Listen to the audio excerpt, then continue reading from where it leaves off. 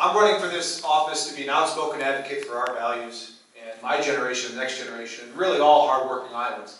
Uh, It's no secret to anyone who's been paying attention, America is in a lot of trouble. You know, this isn't, isn't the America I grew up in. Uh, we're facing crippling debt. I've had friends leave the country for other opportunities, uh, Panama and Chile, to set up high-tech businesses.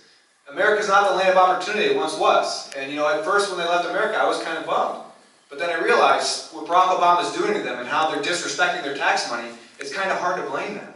Uh, so we have some very, very serious challenges, uh, not only the degeneration of our economy, but the dege- degeneration of our culture, our values, uh, frankly, godlessness. Um, so we have some very serious challenges ahead, and I am committed to working with everybody.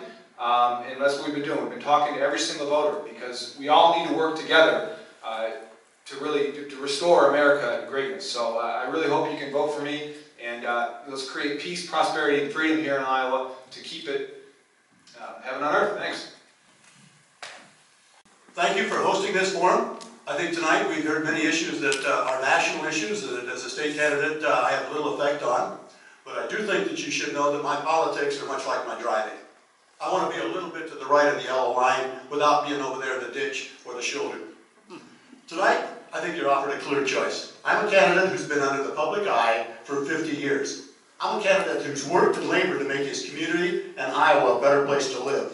Contrast that to other candidates who uh, are new to Iowa and maybe from wealthy Chicago suburbs. You've had a chance to observe my judgment and work with others. Uh, I'm respected by others in the Iowa legislature, and I'm um, considered one of the most accessible people to my constituents. You all have my, or the ability to get my cell phone number. It's posted every place. My name is in the telephone book. Uh, I do have an open door policy of keeping people informed through telephone contacts, Facebook, local newspapers, and local forums. Tonight, I again ask for your support and your vote in this general election. Thank you, and have a good evening. I'm Representative Curt Hanson.